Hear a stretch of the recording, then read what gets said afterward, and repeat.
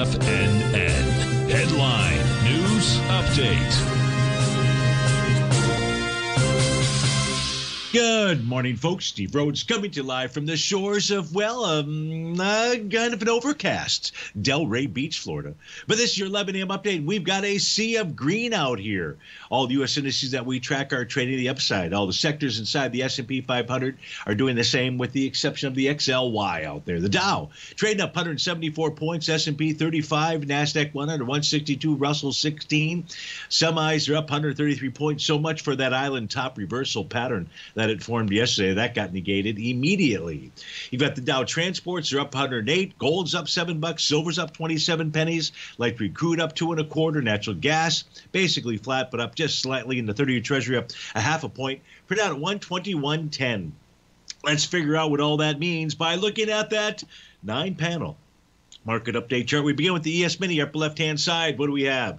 Actually, you have a new profile that formed yesterday. So price price pulled back and it tested that support level. That support level is 5069. Resistance on my black background charts is 5118. On the white background charts, I believe it's 5128. Right now, we are trading above that resistance level at the 5118 area. So slight positive. I would I would believe that uh, if price is going to find resistance, it's going to be around that 51.28 level. Spot Volatilix has tested and rejected the 50-day X minutes moving average. When I say tested and rejected, I mean move lower and rejected that level. That is a key area. If the market is going to get back on its merry way, you need to see that spot VIX below 1384. The NQ, which came down hard yesterday, we talked about its bear structured profile. If price was going to find support, if it was only a counter trend move, price would find support between the 17,793 and 17,924 level. That's in fact what it did yesterday. We're trading back above the top of that profile at 17,924. Its next resistance area is about 18,207. That's a green oscillator and change line that I can see on my other screen.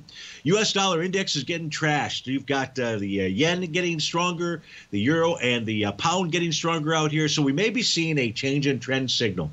We need to see two consecutive closes below 103.66.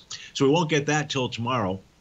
But right now, things look like that may be what is unfolding. How's that going to impact Goldilocks? Well, gold, it has made a major bottom we won't see those lows, lows uh, from back in February, probably for quite some time out here. Right now, we're trading out at 2150. It's above profile resistance, as is silver. Silver wants to move higher.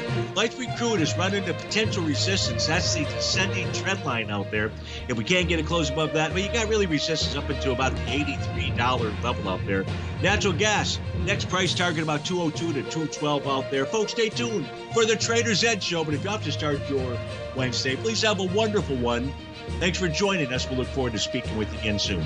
Take care now.